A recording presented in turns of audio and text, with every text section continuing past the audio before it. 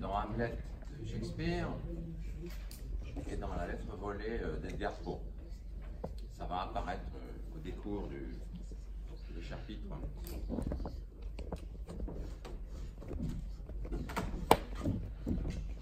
J'espère que vous avez lu Hamlet en entier.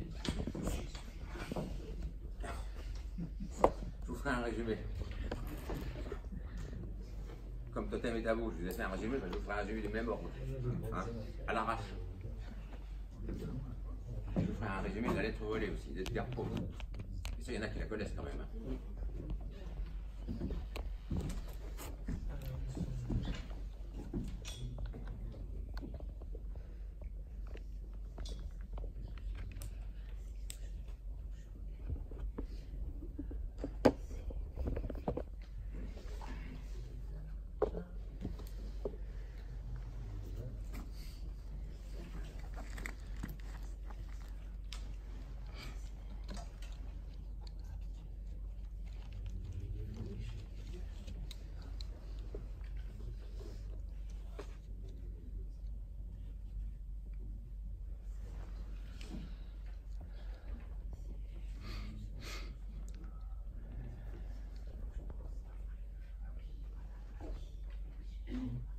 Bon, on va Donc, je vais vous faire un petit résumé très bref de ce que l'on a abordé lors de la séance précédente.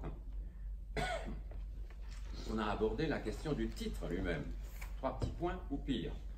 Donc, c'est assez facile de comprendre de quoi il s'agit finalement euh, si l'on dit que lorsque l'on cherche à dire la vérité, on n'y arrive pas.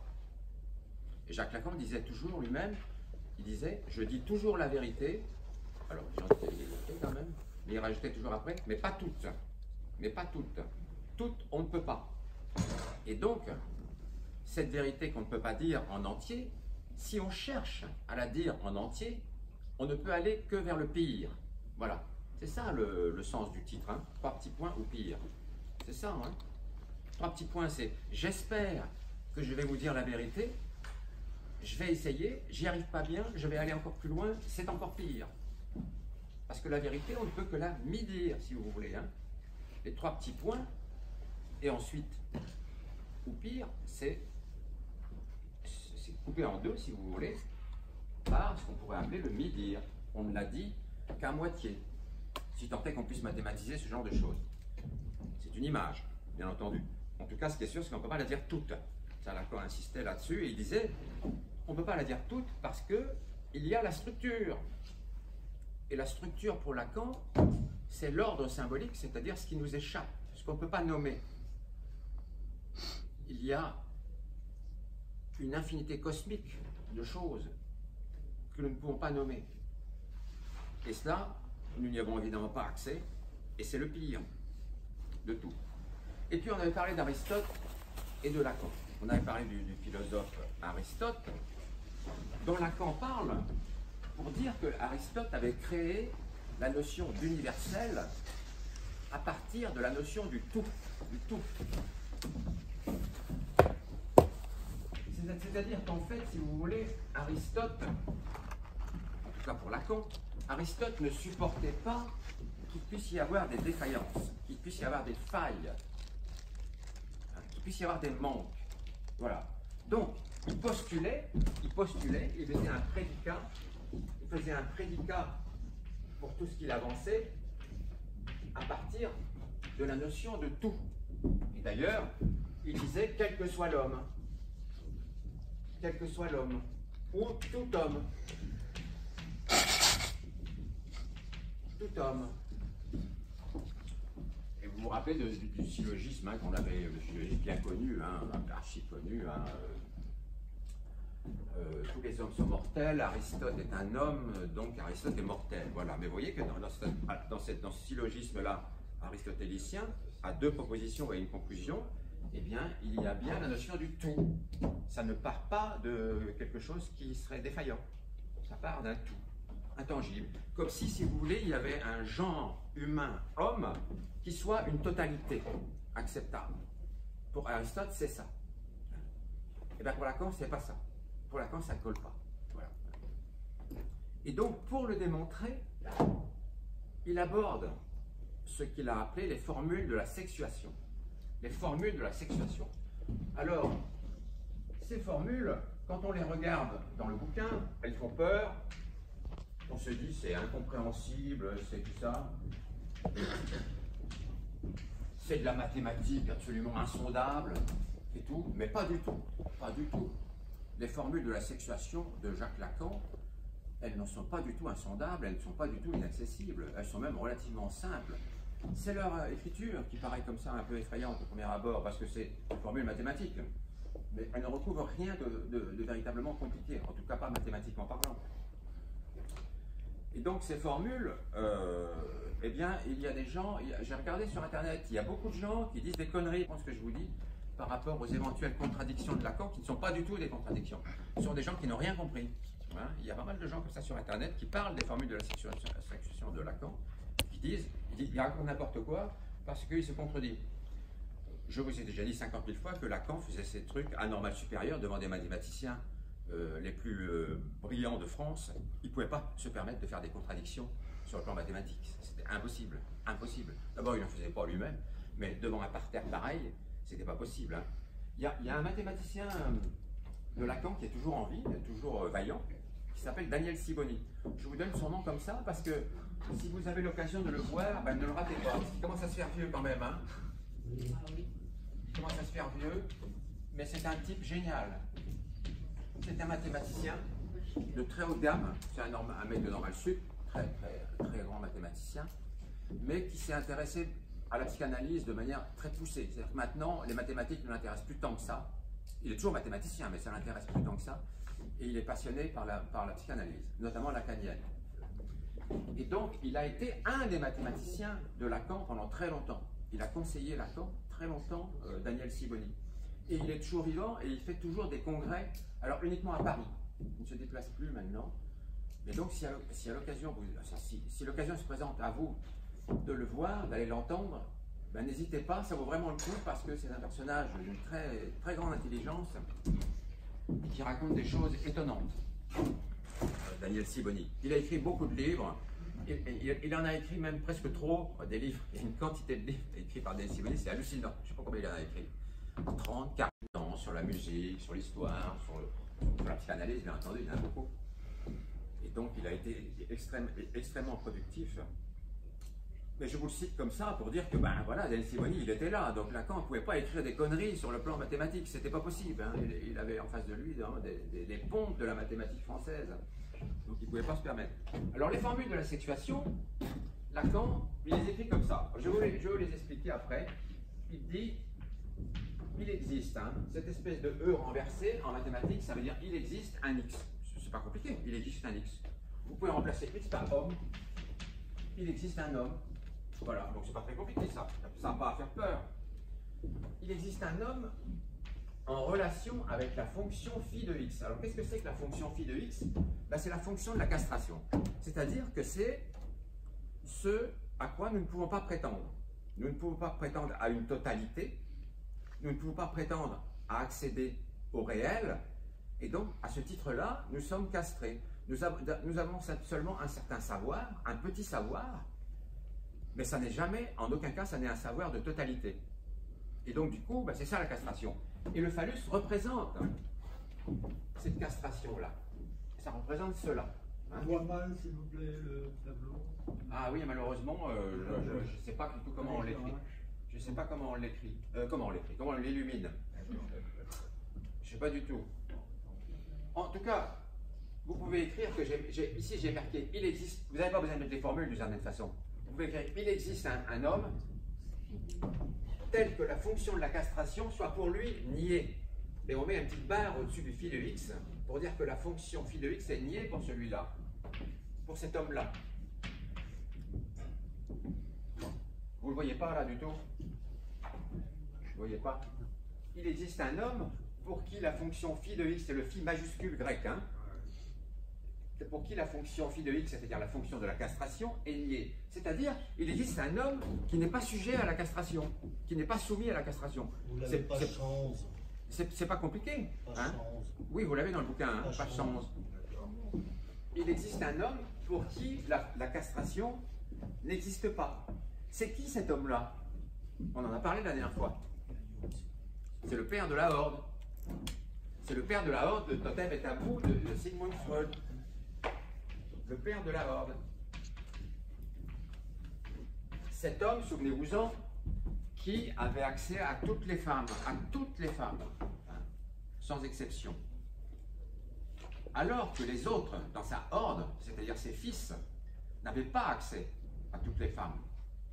Et donc, je vous rappelle l'histoire, ses fils l'ont donc tué par jalousie, hein, ils ont tué le père de la horde, et puis ils ont eu des remords hein, par rapport à ça, une espèce de culpabilité s'est emparée d'eux, et donc ils ont érigé en, mémoire de leur père un totem, un totem, une, espèce de statue, un totem, c'est pour ça que ça s'appelle totem et tabou, et ils ont construit aussi, édicté des tabous, et notamment le tabou de l'inceste. Ils se sont dit, si on n'est pas comme papa, on ne peut plus faire tout ce que l'on veut. Maintenant qu'on l'a tué, on doit mettre en place des lois, notamment la loi de l'inceste. Hein. Et donc eux, ils ne sont pas épargnés par la castration. Mais il y en a un qui a échappé, c'est le père, jusqu'à qu'il soit mort, jusqu'à qu'il soit oxy. Hein. Une fois qu'il a été oxy, ça en est tout terminé, c'est sa toute puissance. Donc ça, c'est la première ligne de la, formule de des formules de sexuation pour l'homme. Ça, c'est le côté homme. Et Lacan a mis en dessous quelque chose, enfin une écriture, qui a été analysée, je vous disais, par certains personnages sur Internet et qui n'ont rien compris manifestement, parce que ça ne contradit pas du tout la première formulation. Il existe un homme qui échappe à la castration, et en dessous, Lacan a écrit, avec cette formule-là, tous les hommes, quel que soit X, quel que soit X, ça veut dire tous les X, tous les X, sont soumis à la castration. Alors les imbéciles disent Ah ben si on dit il existe un homme qui n'est pas soumis à la castration, et puis après on dit tous les X sont soumis à la castration, c'est n'importe quoi, c'est ce qu'écrivent plein de gens sur internet. Hein. J'ai lu plein de sites comme ça. Lacan était débile, euh, il, ne connaissait rien de mathématiques, etc. Il racontait n'importe quoi, et il se contredit, la preuve, il dit euh, il existe un homme qui échappe à la castration, et puis après il dit tous les hommes sont soumis à la castration. Alors c'est n'importe quoi. Donc en fait, c'est parce qu'ils n'ont pas compris ce qu'il voulait dire. Ce qu'il voulait dire par là, c'est que le fait qu'il y ait eu un homme qui a échappé à la castration, un jour, un seul homme, le père de l'or, hein, ça a obligé tous les autres, tous les autres, indistinctement, à se soumettre à la castration. Du coup, hein, du fait de la faute du père, si vous voulez, du fait de la faute du père, tous les autres ont dû se soumettre à la castration. C'est un petit peu comme l'histoire de la pomme et, Ève, hein. c'est pareil d'une certaine façon. Hein. Un peu pareil, on pourrait faire une similitude. Hein. Donc il est tout à fait logique de dire qu'il y a eu un homme, le père de la qui a échappé à la castration, du coup, ben, tous les autres se la farcissent la castration. Donc il n'y a aucune contradiction là-dedans. Y voir une opposition, il n'y en a pas. Au contraire, la loi, elle découle du fait qu'il y a eu une exception. L'exception a engendré la loi sur la castration. Ça, c'est le côté homme. Donc vous voyez que c'est pas si compliqué que ça. Quand on voit les formules dans le bouquin, on se dit, oh là là, c'est impénétrable ce truc-là, c'est un truc d'une complexité arithmétique, mathématique colossale, mais absolument pas. Hein. absolument pas. Alors, du côté de la femme, c'est un tout petit peu plus compliqué, mais pas tant que ça. Du côté de la femme, Lacan, il écrit, il existe un X et il le nie au-dessus. C'est-à-dire qu'il. Alors là, comme c'est la femme, ce côté-ci, va écrire en dessous pour, que vous compreniez il n'existe pas de femme. Il n'existe pas de femme. Le il existe grec, hein, le E comme ça, c'est il existe. X, il existe une femme. Il existe échappe à la castration, puisqu'on on remet phi de X, mais cette fois-ci, comme là-bas, avec un petit trait au-dessus, il n'existe aucune femme qui ne soit pas soumise à la castration. Autrement dit, toutes les femmes sont soumises à la castration. Ça veut dire ça, ces formules-là. Ça, ça, paraît comme ça, euh, cabalistique et puis euh, compliqué, mais ça ne l'est pas. Toutes les femmes sont soumises à la castration, dit-il dans un premier temps. vous allez voir qu'il ne s'arrête pas là, là, hein. Donc ça, c'est une espèce de d'universel. Ça, c'est une espèce d'universalité négative, si vous voulez. Hein. Toutes les femmes sont soumises à la castration, comme il y a deux barres négatives, on pourrait dire que c'est une espèce d'universalité négative. Alors qu'ici, tous les hommes sont soumis à la, castration, c'est une universalité positive. C'est la notion d'universalité positive un peu aristotélicienne, celle-là. Du côté de la femme, il n'en est pas de même. Toutes les femmes sont... Enfin, il n'existe pas de femmes qui ne sont pas soumises à la castration. Toutes les femmes sont soumises à la castration. Mais en dessous, il écrit... Il écrit d'abord quel que soit X, quelle que soit la femme, mais il le nie. Et ça, ça veut dire pas toutes. Le voilà le fameux patou de, la, de, de Lacan. Pas toutes. Le quel que soit la femme, nié. Ça veut dire pas toutes. Pas toutes. Pas toutes quoi? Soumise à la castration. Fille de X. Donc c'est assez bizarre parce qu'il dit dans un premier temps, aucune femme n'échappe à la castration, aucune n'échappe à la castration. Et ensuite il dit, mais pas toutes sont soumises à la castration. Donc euh, tous les imbéciles disent Ah ben non, euh, c'est n'importe quoi, il ne connaissait pas les mathématiques, tout ça, il se trompe, il fait des contresens et ça. Mais pas du tout, il ne fait pas de contresens. Parce que il n'y a aucune femme qui ne soit pas soumise à la castration, c'est un univers qui n'est pas borné, qui n'a pas de limite, si vous voulez. Hein. C'est un univers indécidable. Et dans cet univers-là, la femme ne peut pas savoir ce que c'est que la castration, puisqu'elle n'y est pas, puisqu'aucune d'elles n'y est soumise. Donc comment voulez-vous qu'à l'intérieur de ce groupe-là, il n'y a aucune femme qui soit soumise à la castration Comment voulez-vous qu'il y en ait qui discutent entre elles pour dire la castration c'est ça? Elles ne peuvent pas dire c'est ça. Hein. c'est très compliqué.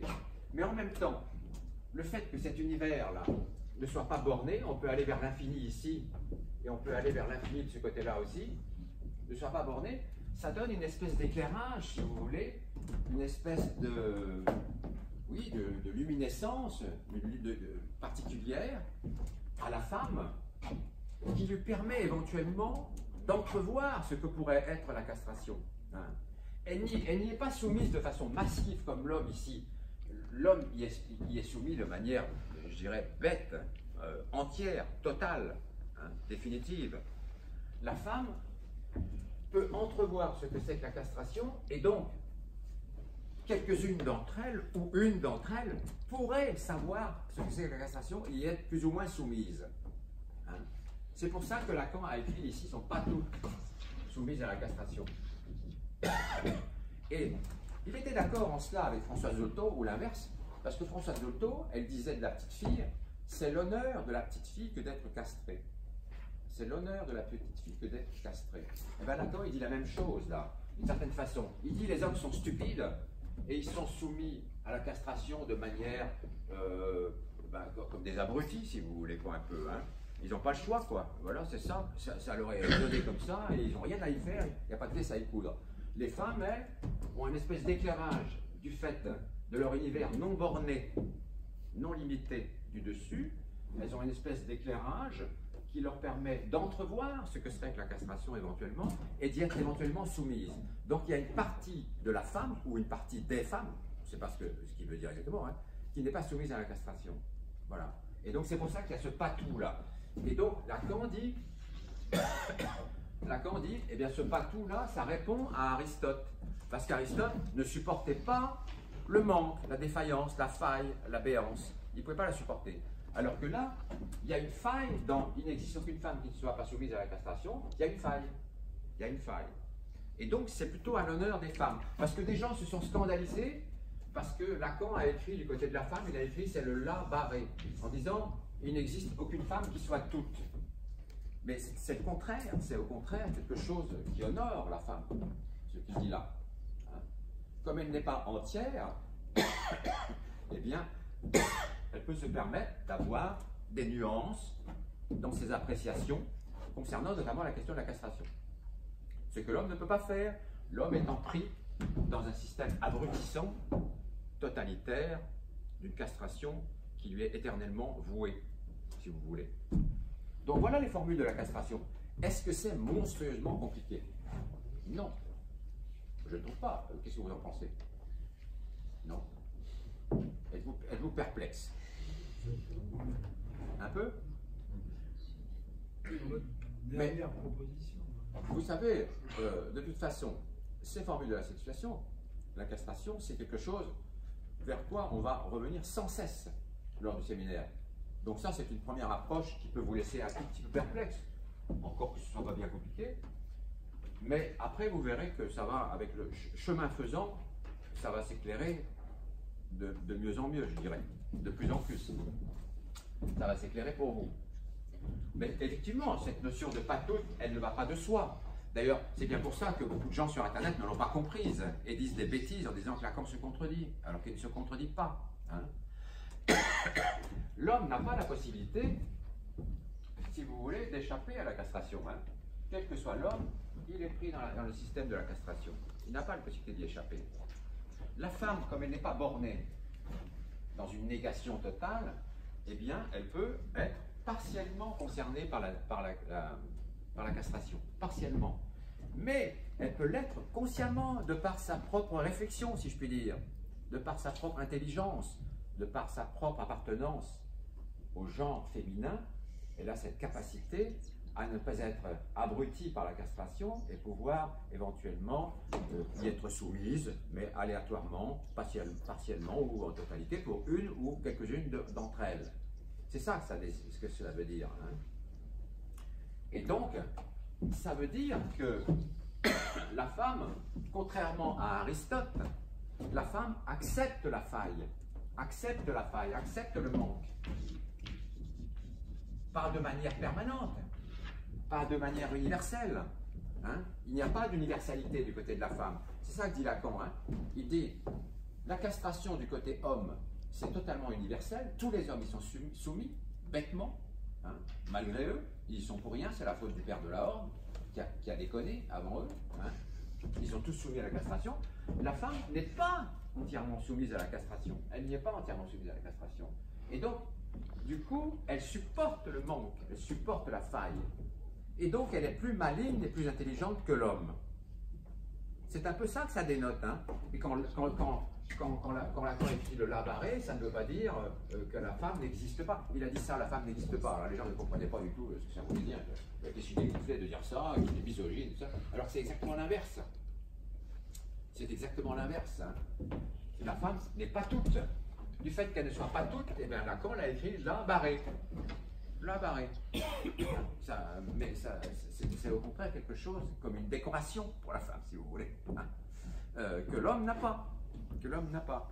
Donc il y a beaucoup de gens qui comprennent ces formules à l'envers, complètement à l'envers, comme des inepties et comme des ratages euh, mathématiques. hein. Alors, euh, c'est d'autant, il n'y a, aucune co- incohérence mathématique là-dedans, d'autant plus que à ces séances-là, et ça c'est no- c'est noté, hein, à ces séances-là, il y avait un paquet de mathématiciens dans la salle, je peux vous dire, hein, à ces séances-là. D'ailleurs, il le dit à un moment donné, je ne sais plus, dans le chapitre, euh, dans le deuxième chapitre, il dit, euh, je dis ça devant un parterre de mathématiciens, je pense qu'ils vont peut-être me jeter des patates chaudes, non des pommes, des pommes cuites. Je pense qu'ils vont peut-être me jeter des pommes cuites, mais ils n'oseront pas parce que je les intimide. Ah, qu'il dit ça quelque part. Ils n'oseront pas parce que c'est des, développements d'une ultra complexité hein, sur- au plan mathématique. hein. Donc, alors il, il dit ceci, Lacan, il dit ceci par rapport à Aristote, pour corroborer ce que je viens de vous dire. Il dit chez Aristote, il y a la fonction naïve. Il dit qu'Aristote était un naïf. hein. Chez Aristote, il y a la fonction naïve de quelque chose qui voudrait répondre à la fonction du patou. Aristote ne supporte pas le patou. hein.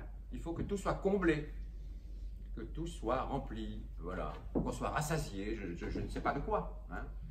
mais qu'on n'ait pas de manque en tout cas. Et Aristote, il dit naïvement, ne supportez pas ça. Alors, il dit nier le patou, nier le patou, c'est ce que faisait Aristote. Aristote ne supportait pas l'idée du- d'un patou, de quelque chose qui manquerait. Nier le patou n'affirme pas l'existence. N'affirme pas l'existence. On en arrive à confondre essence et existence. Alors il dit ceci, on en arrive à confondre essence et existence, et je vais vous expliquer ce qu'il veut dire par là. Essence et existence. Et il rajoute cette phrase étonnante, Lacan, il rajoute cette phrase étonnante, à croire que c'est plus d'exister que d'être. à croire que c'est plus d'exister que d'être. Ça, c'est une phrase vraiment étonnante de Lacan, hein, mais je vais vous l'expliquer. Elle est très facile à expliquer si vous prenez la formule de Descartes. La formule de Descartes dit je pense, donc je suis. Il dit cela, Descartes. Je, pense, donc je suis. Voilà. Donc quand Descartes dit ça, eh bien, il y a un premier jeu, un premier sujet parlant qui dit je pense, je pense. Et ce premier sujet parlant de Descartes s'autorise le droit de créer un deuxième jeu qui est. Qui est. Hein. Donc, d'une certaine façon, et c'est ce que disait Lacan, Descartes se crée lui-même. Il se crée lui-même. Il se crée tout seul. Donc Descartes, si vous voulez, se crée, crée son être de, de droit divin, pratiquement, de droit divin.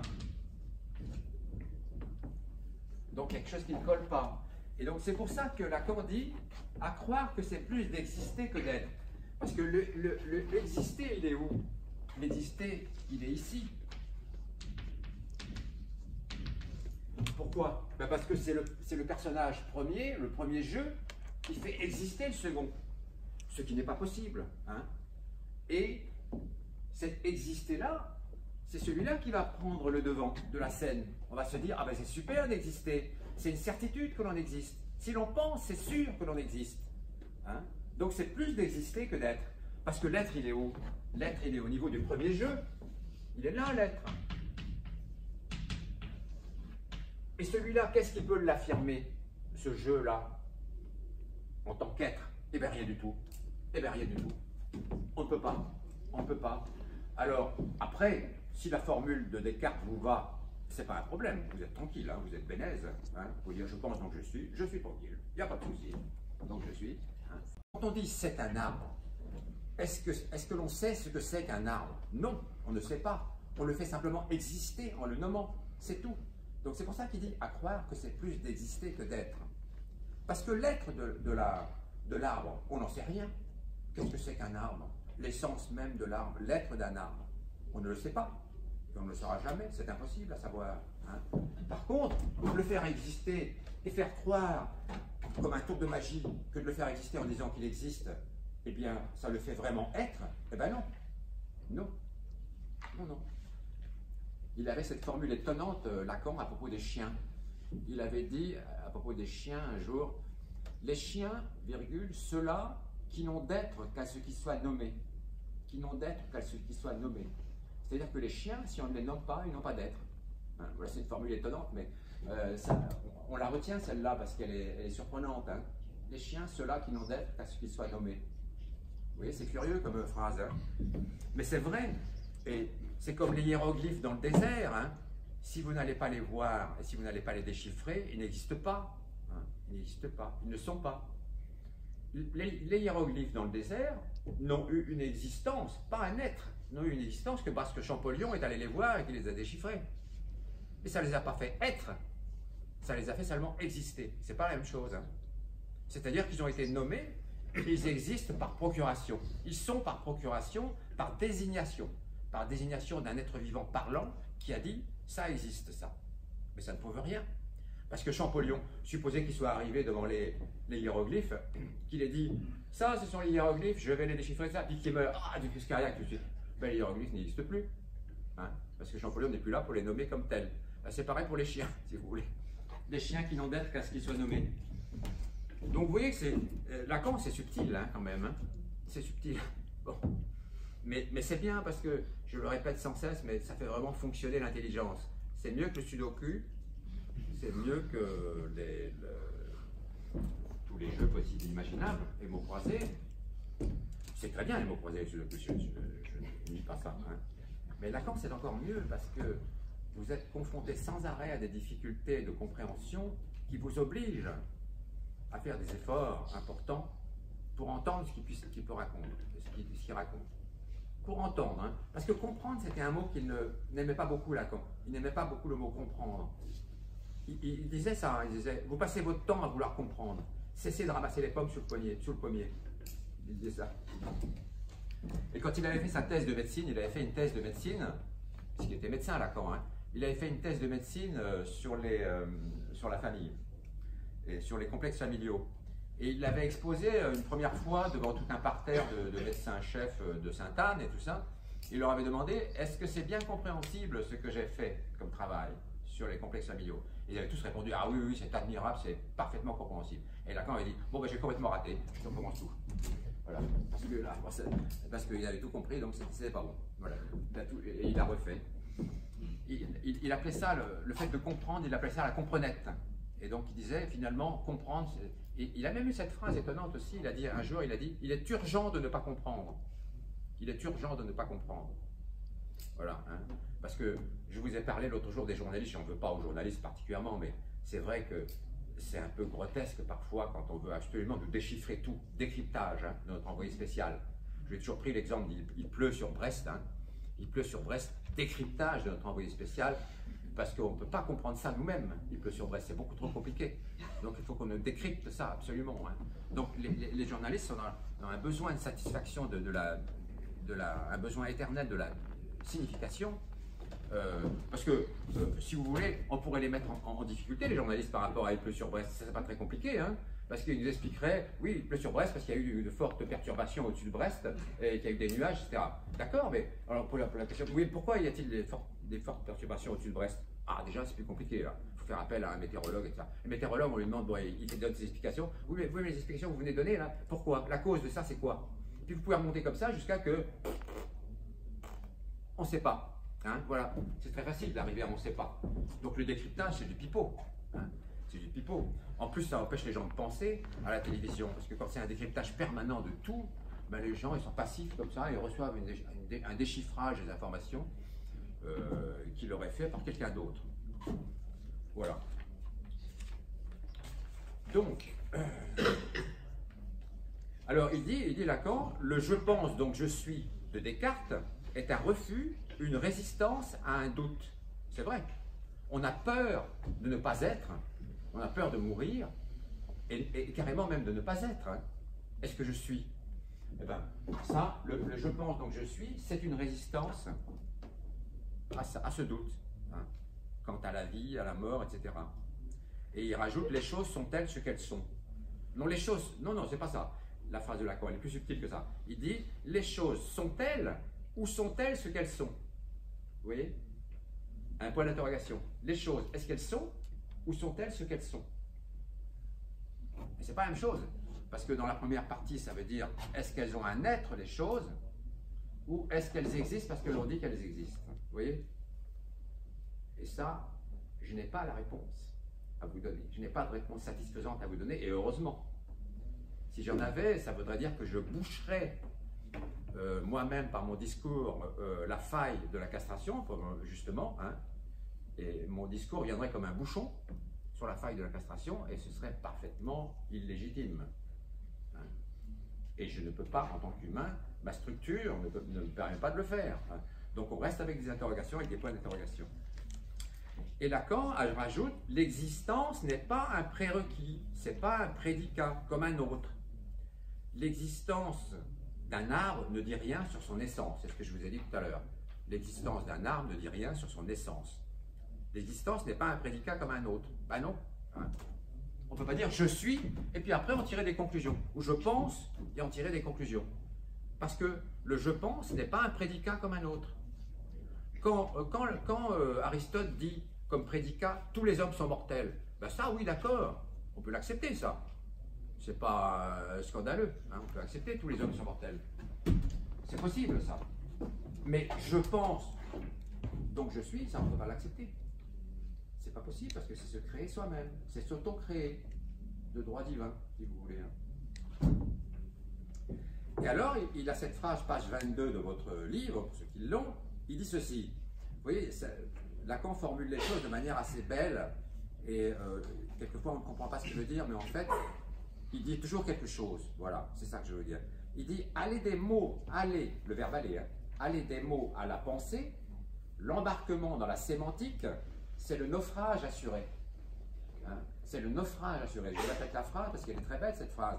Aller des mots à la pensée, l'embarquement dans la sémantique, c'est le naufrage assuré. qu'est-ce qu'il dit par là? Eh ben, Il désigne le je pense, donc je suis de Descartes. Hein le je pense. Le je pense, ça va encore, et encore, c'est pas sûr, parce que le jeu, là, il n'est pas assuré. Hein. Le jeu, il n'est pas tellement assuré, là, dans son essence, ici, dans son être.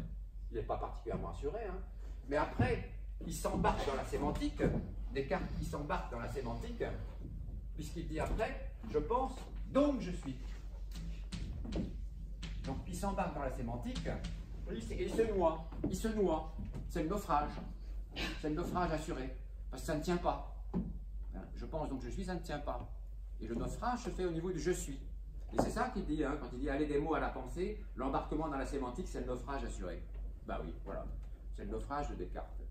Descartes n'a pas dit des conneries. Hein. Euh, et même cette phrase, ce n'est pas une connerie.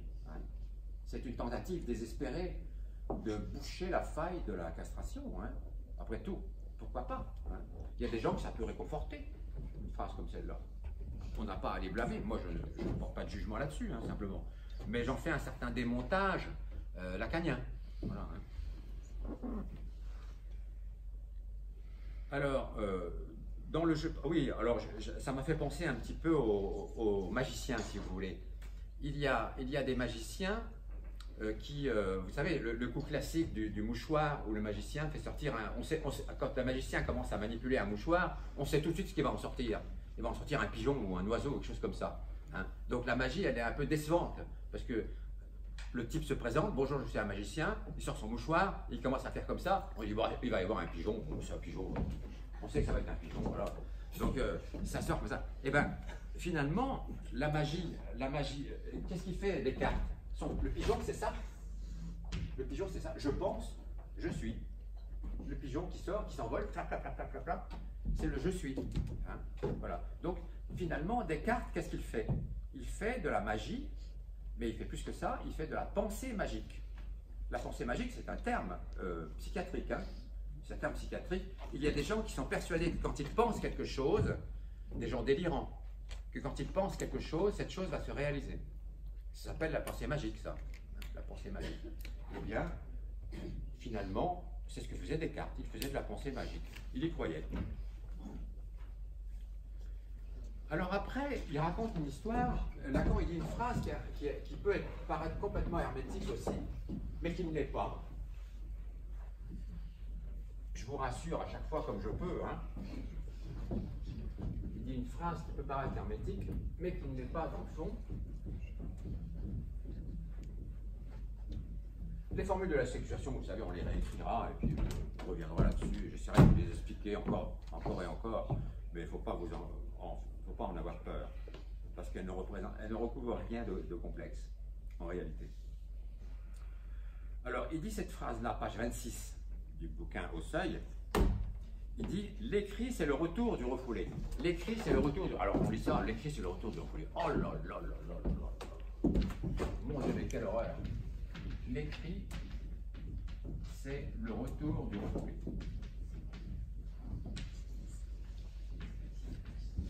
Mon Dieu, quelle horreur. Qu'est-ce que ça veut dire ce truc-là? C'est absolument impénétrable. Mais si, c'est tout à fait compréhensible. Alors je vais vous l'expliquer en passant justement par Edgar Poe. Hein, je vais passer par la lettre volée.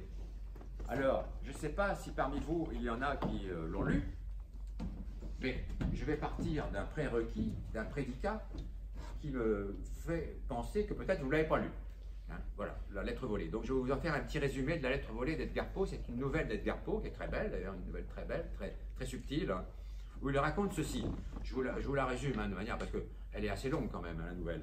Il se passe ceci. Alors c'est un roi et une reine, c'est un roi et une reine qui sont dans leur boudoir, dans une petite pièce euh, euh, bien chaleureuse, ils sont tous les deux là-dedans. Et puis euh, ils sont tous les deux debout et, ils papotent un petit peu comme ça, mais on sent qu'ils sont embarrassés. Ils sont, sont, on sent qu'ils sont embarrassés. Ils sont pas à l'aise. Ils sont, ils sont coincés, quoi, si vous voulez, hein, l'un comme l'autre. Enfin, surtout la reine, surtout la reine. Et sur la table du boudoir, il y a une petite table de luxe, une petite table royale qui est là il y a une lettre.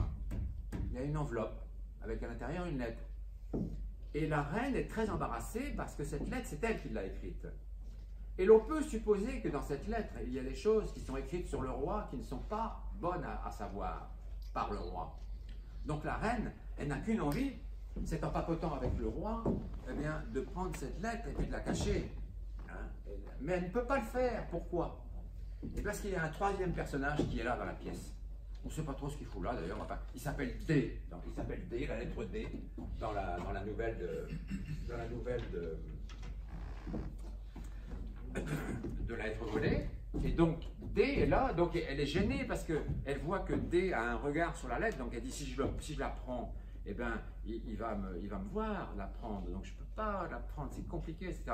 Par contre, D, lui, il voit l'embarras de la reine, il voit l'embarras de la reine. Donc il se dit, oh ben elle a l'air bien embarrassée avec cette lettre-là, si je la prends, elle ne pourra rien dire de toute façon, puisqu'il ne faut surtout pas que le roi euh, en sache quoi que ce soit de cette lettre. Donc si je la prends, elle va être obligée de fermer sa gueule, la reine, si je puis dire. Hein. Donc c'est ce qu'il fait. D, il prend la lettre, il prend la lettre sur lui, et il s'en va chez lui, et il la cache chez lui. On ne sait pas ce qu'il en fait, on ne sait pas s'il l'a lu ou pas, aucune importance. En tout cas, il l'embarque chez lui, la lettre. Alors évidemment, catastrophe dans le royaume, euh, une lettre de la plus haute importance a été volée, euh, la reine est dans tous ses états, parce que si quelqu'un tombe sur cette lettre, qui pourrait contenir des choses euh, très embêtantes sur elle et sur le roi, ça serait vraiment épouvantable, etc. Donc, elle, appelle le préfet de police, pas au téléphone, parce qu'à l'époque, il n'y avait pas le téléphone. Et donc, ça se passe pendant la monarchie de juillet. Vous savez ce que c'est que la monarchie de juillet, non? C'est une époque de l'histoire de France hein, qui, succède à la, qui succède à la Restauration. La Restauration succédant elle-même à la Révolution française. Hein. Il y a eu la Révolution française avec la Première République, sans, sans président, hein. Première République. Ensuite, il y a eu la Restauration avec Louis XVIII et Charles X. Et ensuite, vous avez donc euh, la monarchie de juillet avec euh, Louis-Philippe Ier, euh, qui, n'était pas président, qui était roi des Français pas roi de France, hein, roi des Français, Louis-Philippe Ier. Et la monarchie de juillet, pourquoi, pourquoi est-ce qu'Edgar Poe place cette, Vous allez voir pourquoi il la place à cette époque-là, ça, a un intérêt. Il la place pas n'importe quoi. Et après la monarchie de juillet, eh bien, il, y a la, deuxième République, hein, avec le premier président de la République de France, des Français, premier président de la République des Français, qui s'appelait Louis-Napoléon Bonaparte, c'était Napoléon III. Et après, vous avez la quatrième République avec eh bien, Auriol, Coty, et après la cinquième avec Charles de Gaulle. Voilà. Vous avez fait toute l'histoire.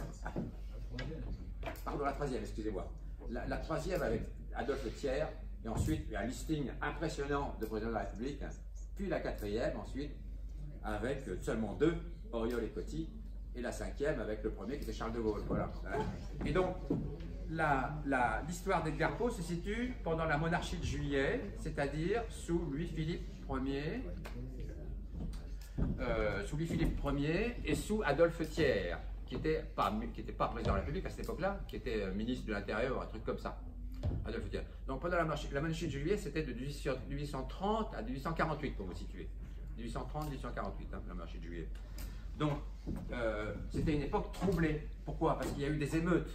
Parce que le peuple ben, demandait des droits. il y avait un parlement, il voulait des droits, il voulait du pain, il voulait, etc. Donc il y avait des émeutes dans les rues, il y avait toujours des, pétarades, des coups de feu, etc. Et ça, ça a un intérêt pour la nouvelle. Donc la lettre, elle est volée, elle appelle le préfet de police.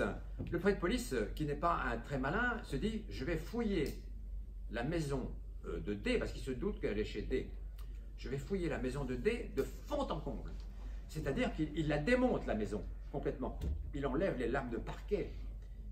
et même ici, les lames de parquet dans leur épaisseur pour voir s'il n'y a pas des trucs qui sont incrustés dedans. Il, euh, il sonde les murs, hein.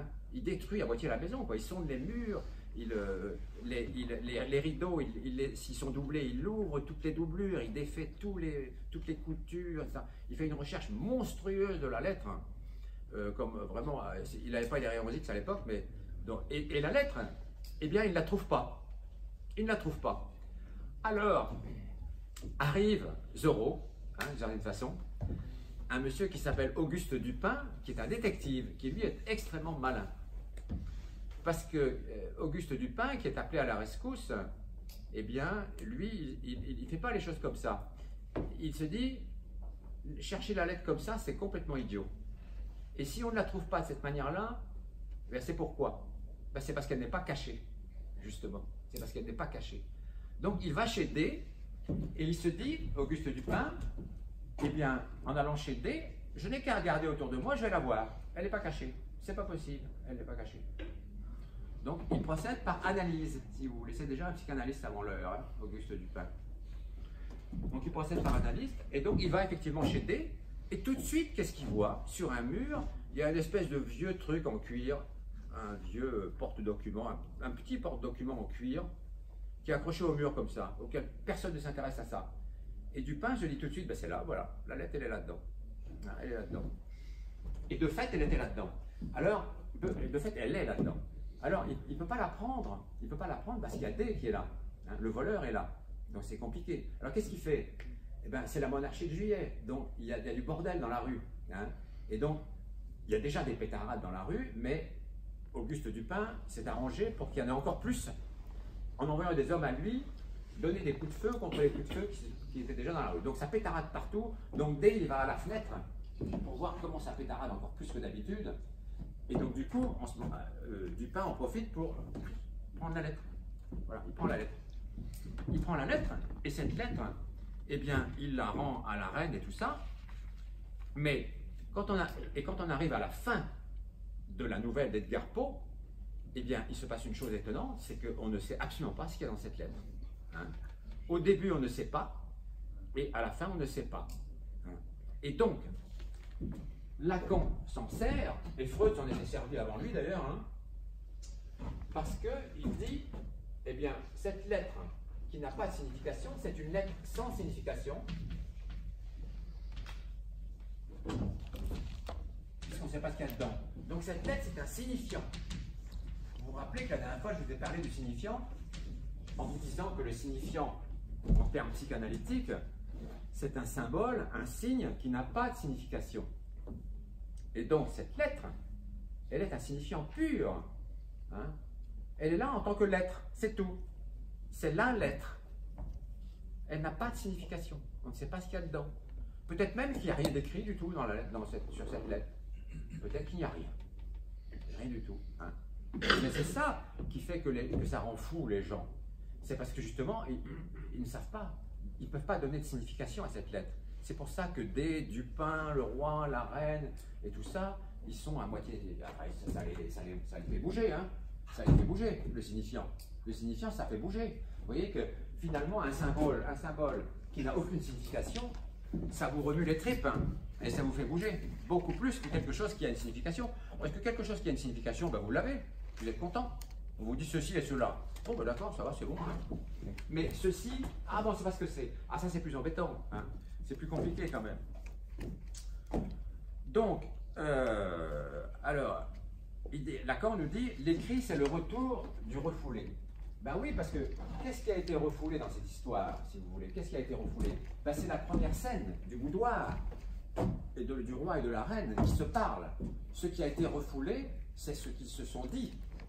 Ils, se sont bien gardés de, que ça se sache qui se disent, on n'en sait strictement rien, ce qui se raconte le roi et la reine. Donc leurs paroles sont refoulées. Et cette lettre, cet objet-là, cet objet tant convoité, lui-même est refoulé aussi. Il se perd dans des cachotteries qui sont vite déjouées par Dupin, mais il se perd quand même. Et ça fait retour, ça fait retour par la lettre, par la lettre. Et c'est pour ça que Lacan dit l'écrit c'est le retour du refoulé. La lettre c'est une écriture, hein. La lettre, c'est une écriture. L'écrit, c'est le, retour du refoulé. Donc, j'ai pris cette métaphore de la, lettre volée d'Edgar Poe pour que vous compreniez un petit peu où Lacan va quand il dit cette phrase-là, un peu énigmatique quand même. Hein. L'écrit, c'est le retour du refoulé. Bien oui, le refoulé, dans la lettre d'Edgar Poe, eh bien, euh, l'écrit revient euh, sous la forme, euh, sous sa forme refoulée, si vous voulez. Il y, a, il y a quelque chose qui revient du refoulement, sous la forme d'un écrit, la lettre, qui n'a pas de signification, sous la forme d'un signifiant. Prenez l'exemple du rêve, si vous voulez. Si ça, ça vous paraît un peu compliqué. Quand vous rêvez de quelque chose, euh, vous faites un rêve un peu compliqué, un peu traumatisant. Vous vous réveillez tout d'un coup. Et puis, vous vous dites, euh, mais ce rêve, euh, on vous demande, raconte ton rêve tout de suite là. Ah, mais je sais pas, je sais pas, je sais pas ce qu'il veut dire. Je sais pas. Parce que vous êtes encore tout estourbé par votre rêve il vous a fracassé un peu la tête. Hein. Ça arrive souvent, cette histoire-là, hein, que les rêves nous estourbissent et nous, rendre perplexes, ça arrive très souvent. Hein. Et donc on se réveille, on ne sait pas. Quelquefois même, on va jusqu'à dire Mais je ne me souviens pas de mon rêve. Je m'en souviens pas, je ne me souviens de rien. Hein. Tant il a été chaotique, je ne peux pas le, raccommoder, le, mettre en morceaux les uns avec les autres, etc. Eh bien, c'est pareil, hein. c'est pareil de certaine façon. Vous êtes interdit devant votre rêve parce que votre rêve est un signifiant pur, sans signification. Il vous revient comme un écrit, si vous voulez. Hein. Il vous revient comme un écrit, comme une lettre. Comme une lettre, mais vous ne pouvez pas la déchiffrer parce que vous ne savez pas ce qu'il y a dedans. Eh c'est pareil l'histoire d'Edgar Poe, c'est le retour du refoulé. L'écrit, c'est le retour du refoulé. C'est une phrase très énigmatique, celle-là. Il faut reconnaître qu'elle est complexe, celle-là, par contre. Mais on peut arriver à la comprendre hein, quand même. Hein. Euh, je peux vous donner encore un troisième exemple. Euh, je regardais hier les commémorations de la guerre 14-18. Hein. Tout le monde a vu ça plus ou moins parce qu'il y en a eu vraiment toute la journée. Eh bien, euh, après, après, après, 18, après 1918, à la fin de la guerre, il y a eu une espèce de, de, folie, de frénésie du spiritisme. Vous savez, faire tourner les tables, faire parler les tables. C'est vrai, il y a eu une frénésie de ça parce que les gens avaient perdu tellement de gens dans les familles, tellement de gens avaient disparu, étaient morts, les familles étaient décimées, et donc les gens, de manière assez naturelle, on ne peut pas leur en vouloir, hein, essayaient par des moyens les plus désespérés de faire revenir les autres, de, les entendre un petit peu, de quelque chose d'eux, quoi. Hein. et donc ils voulaient faire un peu parler les tables, les faire tourner. Alors qu'est-ce qu'ils faisaient ben, Ils se mettaient en cercle comme ça autour des tables, hein. et puis, mais vraiment ça se faisait à l'époque, c'était tout le temps, quoi. c'était une folie, quoi. Ils se mettaient autour, et puis il disait Es-tu là, euh, euh, André Es-tu là, toi qui es mort, etc. Es-tu là euh, Si tu es là, la table va taper deux fois, tac, par exemple. Alors généralement, il y avait, un petit peu d'aide hein, de enfin bon, peut-être que quelquefois il n'y avait pas d'aide, hein, j'en sais rien, moi, hein, je sais pas, je ne suis pas spirit. Et donc, quand ils faisaient ça, les gens, ben, ils faisaient exactement ce que dit Lacan l'écrit c'est le retour du refoulé, parce que quand vous. Qu'est-ce qui été refoulé là? C'est la mort qui est refoulée là, chez les gens d'après 18. La mort est intolérable. La mort d'un proche, d'un fils, d'un père, d'un frère, ce que vous voulez, c'est absolument insupportable. Et donc, on le refoule. on essaie de refouler ça, mais en même temps, on voudrait que ça revienne. Et quand ça revient par le spiritisme, ça revient sous quelle forme? Eh bien, sous la forme de, par exemple, toc toc. Hein? André, si tu es là, fais, fais, taper la table deux fois. Toc toc. Ben, toc toc, qu'est-ce que c'est? Ça n'a aucune signification. Toc toc, c'est un signifiant pur. Hein c'est une écriture. C'est une écriture, c'est une lettre. Ça n'a pas de signification. C'est pas une voix qui dit Ouh, je suis André, je suis là, etc. Non, non. Simplement, ça parlait pas les tables. Hein. Ça parlait pas. Ça faisait juste toc, toc, toc un certain nombre de fois. Si tu me dis, si, la table tape sept fois, ça veut dire que tu es bien là, André, tu es bien parmi nous. Qui es mort à la guerre 14-18. Hein. Donc la table tapait sept fois. Ah, il est là. Et après, on pouvait bavarder avec lui, tout ça, prendre le thé. Et mais en fait, le retour, vous voyez, eh bien, c'était un signifiant pur, des coups, des coups comme ça, un nombre, un nombre, ça revient par le nombre. Et le nombre, qu'est-ce que c'est pour Lacan Justement, le nombre, ben, le, le nombre fait partie du réel. Le nombre, il est indéchiffrable. Le nombre, il est dans le réel. C'est pas parce que vous dites 1 comme ceci, comme je vous l'écris là, j'écris 1, que, que je sais ce que c'est que 1. Je n'en sais rien. De même que je ne sais pas ce que c'est que deux. Je n'en sais rien, strictement rien. Dans son essence même. Ça ne veut pas dire qu'on ne peut pas s'en servir. On peut se servir de ces symboliques-là pour les mathématiques. On le fait tous les jours dans nos comptes. Mais est-ce que ça veut dire ce que l'on sait que, que ce que c'est que le 1 Non, on ne le sait pas.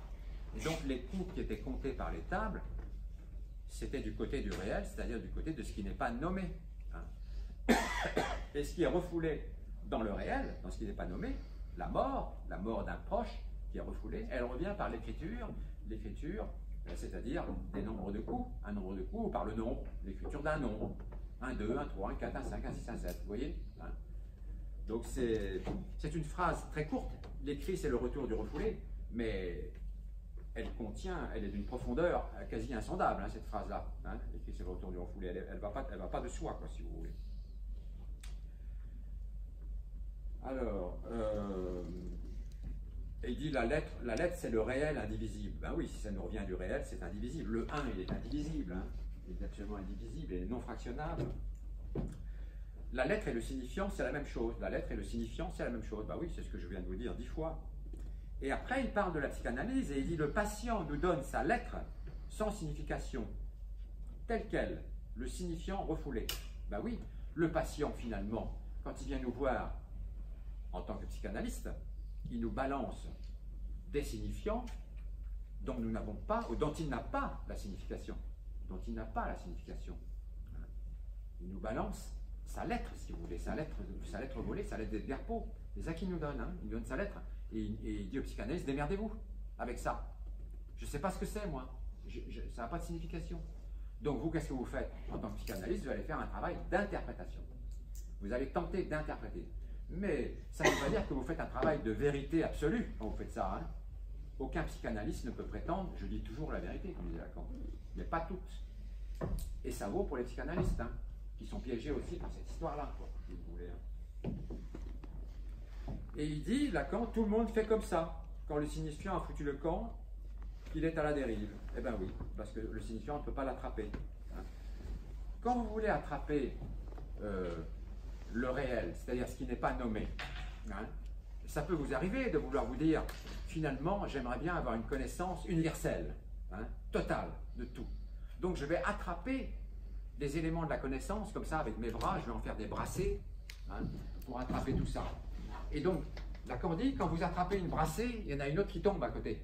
Plaf hein, Et vous voulez la ramasser celle-là, et c'est l'autre qui tombe à côté. Donc c'est impossible.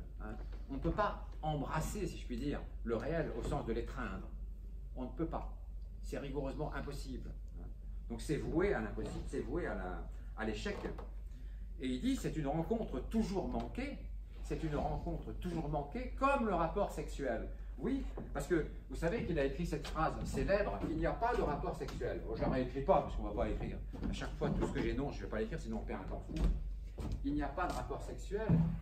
Eh bien, on l'expliquera pas entièrement aujourd'hui, mais déjà on peut en avoir une première approche. Je, vous avais dit qu'on en aurait des approches, il n'y a pas de rapport sexuel. Ben voilà une première. Hein. Quand un homme et une femme, une femme, un homme ont un rapport sexuel, on peut voir ça, on peut écrire ça comme ça si on veut, hein. On peut écrire ça autrement, mais peu importe, on s'en fout. Ont un rapport sexuel, eh bien, il y a entre deux une étreinte. Mais qu'est-ce qu'ils embrassent dans cette étreinte-là? Eh bien, ils embrassent, ils s'embrassent l'un et l'autre, mais ils n'embrassent en aucune façon une totalité. Ils ne brassent pas le 1, le 1 UN, avec un U majuscule. Ils n'arrivent pas, si vous voulez, en se collant l'un à l'autre, si, supposons qu'ils soient l'un face à l'autre, ils se collent dans l'acte sexuel, comme ça l'un à l'autre, ils se serrent l'un à l'autre, comme pour attraper le 1, pour faire 1, le coincer le 1 entre deux. Sauf que le 1, chaque, hein, il part, comme une fusée. On ne peut pas l'attraper. C'est comme les bracelets que je vous ai parlé tout à l'heure. Il n'est pas attrapable. Donc quand il dit qu'il n'y a pas de rapport sexuel, c'est ça. Hein. Le rapport sexuel, deux êtres se rapprochent, rapprochent pour l'acte d'amour. Pour autant, il ne coince pas le 1. Hein. Il ne le coince pas du tout. donc il n'y a pas de rapport sexuel, au sens où on ne peut pas l'écrire, si vous voulez. Parce que si on pouvait l'écrire, qu'est-ce qu'on écrirait? On écrirait 1 pour le rapport sexuel. On écrirait ça fait 1. Femme plus homme dans rapport sexuel égale 1. Eh bien non, ça ne marche pas. Cette étreinte-là ne le permet pas. Donc c'est pas possible hein, de faire ça, de, prétendre à ça. Donc, bien entendu, ça, provoque une certaine désillusion quand même, hein, d'accepter ça, euh, un certain désarroi, mais bon, en même temps, ben, c'est la castration, ça aussi. Hein. C'est la castration, hein, c'est que le rapport sexuel. Alors, il dit, on ne peut pas l'écrire, on ne peut pas écrire un, et même c'est un discours rompu. Eh bien oui, parce que entre l'homme et la femme, dans l'axe sexuel, comme on ne peut pas l'écrire, eh bien le discours entre la femme et l'homme, il est rompu. C'est un discours rompu, il dit cela. Alors quand on le lit comme ça dans le livre, on ne comprend pas ce qu'il veut dire, mais là, tel que je vous l'explique, ça ne me paraît pas tellement compliqué hein, de, voir que c'est un discours rompu. Hein. Puisque dans cette dialectique entre l'homme et la femme dans l'acte sexuel, on pourrait imaginer que ça instaure un discours. Hein. Eh bien non, ça n'instaure aucun discours parce qu'il n'y a pas de rapport. Il y a un lien amoureux. Ça, c'est pas, pas contesté. Lacan ne dit pas qu'il n'y a pas d'amour. Hein, jamais il ne dit ça. Il dit il y a de l'amour, tant qu'on en veut. Et il dit même l'amour, c'est la fête. Il dit ça. Mais l'acte sexuel ne fait pas de l'un. Et donc le discours est rompu. C'est un discours rompu c'est une première approche de cette formule énigmatique, il n'y a pas de rapport sexuel. Et vous voyez qu'en l'approchant comme ça, finalement, euh, eh bien, s'en sort pas si mal. Alors, euh, le rêve, je vous en ai déjà parlé. Le fait de dire il n'y a pas de rapport sexuel laisse une béance. Oui, bien sûr. hein. Le fait de dire ben, la béance, c'est ce que je viens de vous la dire. Elle est là, la béance. hein. Le fait de dire il n'y a pas de rapport sexuel laisse une béance. Une béance entre l'homme et la femme. Il y a une béance ici, il n'y a, pas de rapport- sexuel, il y a une béance. Alors il dit la connerie, c'est de vouloir remplir cette béance à tout prix. Parce qu'on ne la supporte pas. C'est un petit peu comme Aristote. hein. Aristote, lui, il aurait, il aurait rempli cette béance à tout prix. Il aurait dit le rapport sexuel instaure une totalité, un universel, un universel satisfaisant. Et on est content après. Hein, mais non. hein. Vous savez, Lacan, il avait dit dans, le séminaire Les psychoses, euh, il avait dit cette phrase, il avait dit, il n'y a rien de plus déçu qu'un homme qui arrive au comble de ses voeux, car c'est précisément cela dont il ne voulait pas. Euh, il, a, dit cette phrase dans le, séminaire Les psychoses. Et après, il rajoute plein, plein d'autres trucs après, mais enfin, c'est déjà pas mal cette phrase-là hein, quand même. Il n'y a rien de plus déçu qu'un homme qui arrive au comble, soi-disant au comble de ses voeux, car c'est précisément cela dont il ne veut pas. Donc c'est un peu, ça, a un peu à voir avec cette histoire de, rapport sexuel là quand même. hein. Donc, euh, alors, qu'est-ce qui empêche, qu'est-ce qui empêche donc que le rapport sexuel puisse s'établir? Eh bien, c'est phi de x. C'est le phallus. Alors, qu'est-ce que c'est que le phallus? Je vais vous l'expliquer encore là, en me servant d'un film que peut-être vous avez vu, alors les plus jeunes d'entre vous l'ont sans doute pas vu, un film de Stanley Kubrick qui s'appelle 2001 Odyssée de l'espace. Il y a certains d'entre vous qui l'ont vu, Ben, les plus jeunes peut-être l'ont pas vu, hein. mais ce sont des, des cosmonautes, vous l'avez vu? Oui. Oh, bah, c'est bien, tant mieux, si vous l'avez vu. Eh bien, il y a un moment où ces cosmonautes qui s'en vont vers euh, une destination inconnue, très lointaine, ils sont congelés même, hein, tellement ils vont loin. Ils sont congelés, puis ils ont, un- ils ont affaire à un ordinateur qui est plutôt pervers, hein. HAL, il s'appelle HAL Oui. qui à la fin les envoie euh, bouler, hein, Al, hein, qui leur dit euh, je vais vous Enfin, c'est eux, qui- finissent par l'oxyre, mais bon, l'ordinateur il n'est pas fiable, l'ordinateur de, la fusée en question. Et donc ils vont vers ils vont vers une espèce de planète, ils trouvent, une espèce de mégalithe, hein, une espèce de mégalithe géant comme ça, un parallépipède noir, hein, extrêmement inquiétant, extrêmement inquiétant. Parce que c'est là comme ça, c'est un objet qui paraît construit, hein, euh, qui est lisse, sans prise, qui a juste la forme d'un parallépipède géant, comme une espèce de gratte-ciel en verre, si vous voulez, noir, entièrement noir. Et ils sont devant, ils sont là, ils se disent Merde, qu'est-ce que c'est que ça? Et ils ne savent pas ce que c'est. Ça leur est impossible de donner une signification à ce truc-là. Donc ce, ce c'est un signifiant pur, hein, tel que Lacan euh, en parle. Ce mégalithe, c'est un signifiant pur. Et donc, ce, ce d'une certaine façon, eh bien, c'est le phallus lacanien. C'est le phallus lacanien. Parce que le phallus lacanien, c'est le signifiant sans signification. Donc, c'est le mégalithe de Stanley Kubrick. C'est la même chose. C'est le signifiant sans signification. C'est la castration, si vous voulez. C'est le symbole de la castration. Le phi de x, c'est plus exactement phi de x, c'est la fonction de la castration. C'est une fonction arithmétique, hein, tout bêtement, phi de x. hein. Fonction de la castration. Et c'est le mégalithe de Stanley Kubrick, ni plus ni moins. Si les, cosmonautes de Stanley Kubrick avaient réussi à savoir ce que c'était que ce mégalithe, eh bien, ils auraient pu boucher leur euh, euh, défaillance, leur faille, leur béance originelle, structurelle, avec ce mégalithe, puisqu'ils savaient ce que c'était. Et comme ils ne savent pas, ils ne peuvent pas, hein, ils ne peuvent pas euh, s'en servir pour boucher les trous. Et c'est ce que dit Lacan. Hein. On ne peut pas. Il dit ce qui fait barrage, ce qui fait barrage à un savoir de totalité tel que universel, tel que Aristote voudrait que euh, on le connaisse, eh bien, euh, c'est phi de x, c'est la castration. Alors en même temps, ce qui est curieux, c'est que, enfin c'est curieux non, Lacan dit, dans le fond, quand les astronautes comme ça, enfin il ne parle pas de Stanley Kubrick, c'est moi qui vous, hein.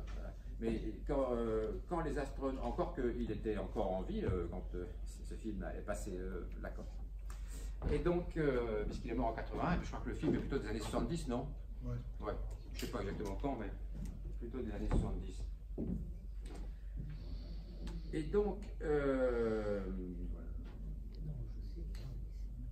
donc cette castration, donc elle peut s'écrire comme ça. Et Lacan dit, Lacan dit, oui, la castration, moi je ne sais pas ce que c'est. Donc il va, là il joue un petit peu, hein. il joue un petit peu avec les nerfs des gens qui sont dans la salle. Hein. Il dit, oh mais la castration, il l'explique pendant, pendant, des, plombes, et puis tout d'un coup il dit, ah moi, je, mais vous savez, la castration, moi je ne sais pas ce que c'est. Hein. Moi je ne sais pas ce que c'est, mais il faudra en passer par là. Voilà, voilà, ça compense.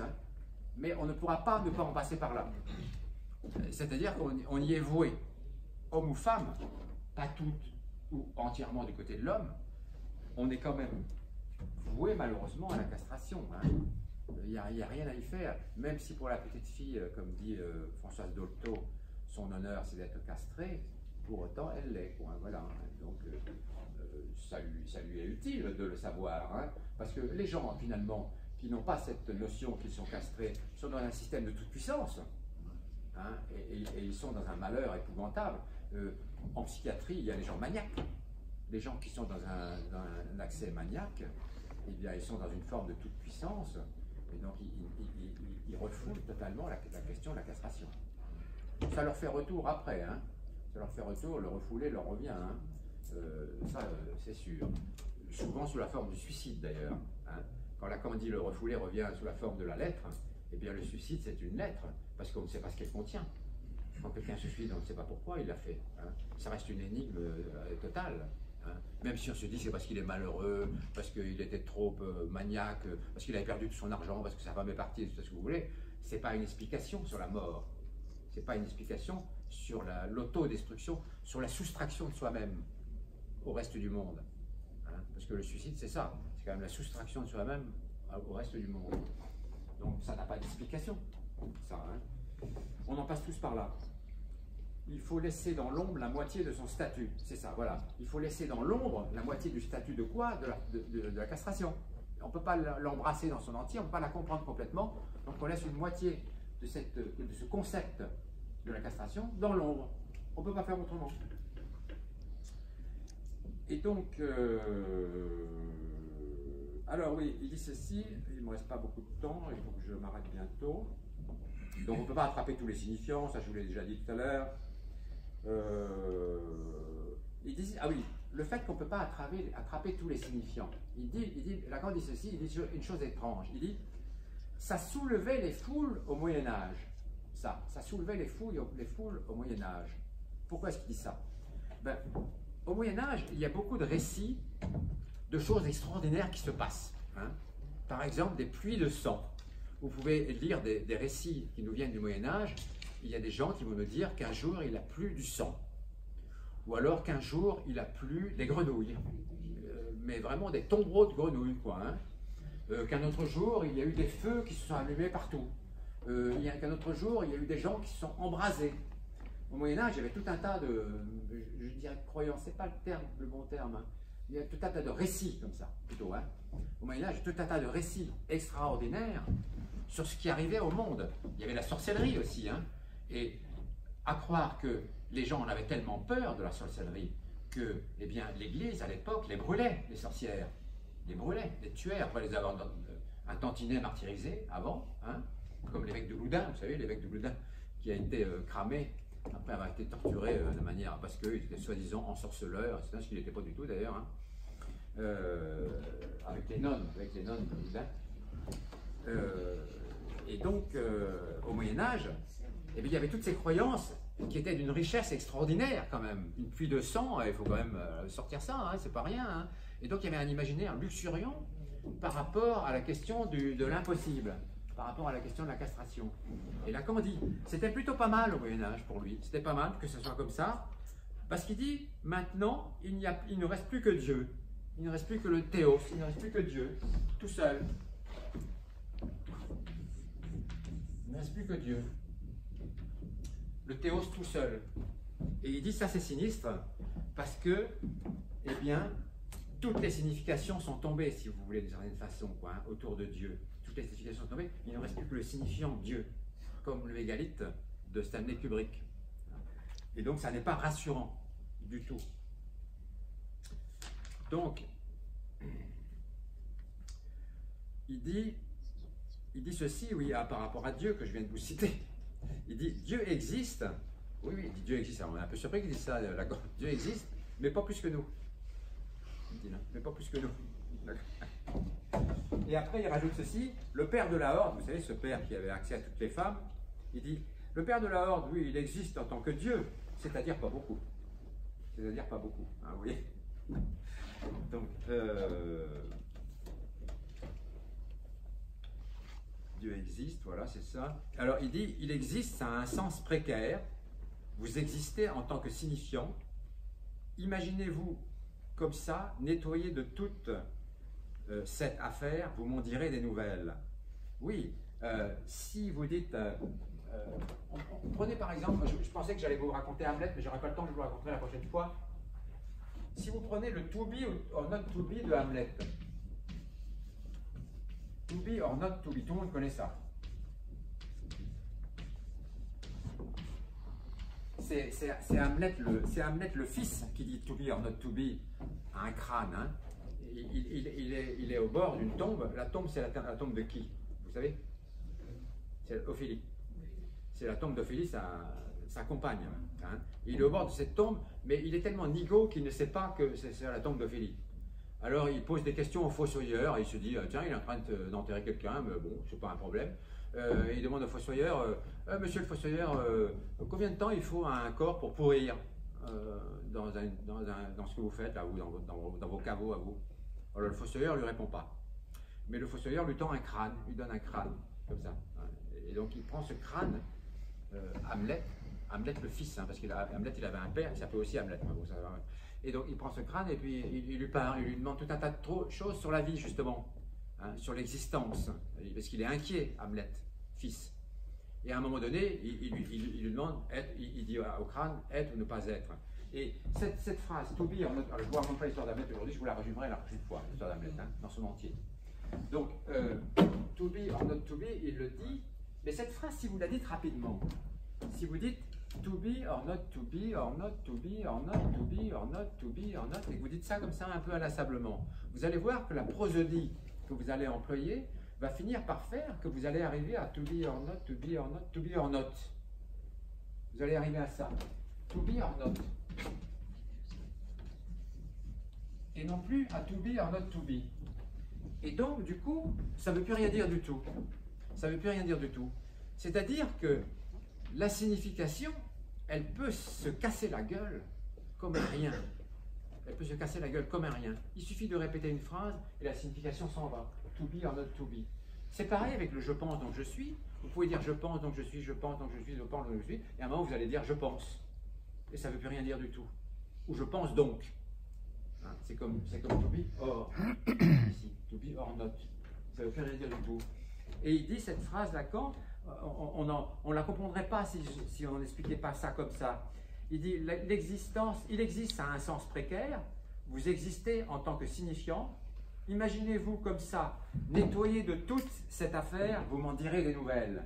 Oui, cette phrase elle paraît incompréhensible quand je vais vous la relire. C'est la dernière. Hein. Il existe, ça a un sens précaire, vous existez en tant que signifiant. Imaginez-vous comme ça, nettoyé de toute cette affaire, vous m'en direz des nouvelles. Eh bien oui, quand on dit je pense donc je suis et que le je suis fout le camp, on peut en dire des nouvelles, hein, parce qu'on ne sait plus où on en est. Hein. Et comme to be or not to be, si on en arrive à dire to be or not seulement, ben on en dit des nouvelles, on est mal, parce qu'on ne sait plus du tout ce qu'on raconte. Hein. Ben c'est ça ce qu'il veut dire, vous m'en direz des nouvelles. Vous voyez Et je m'arrête là pour aujourd'hui. Voilà. Donc ça va, vous avez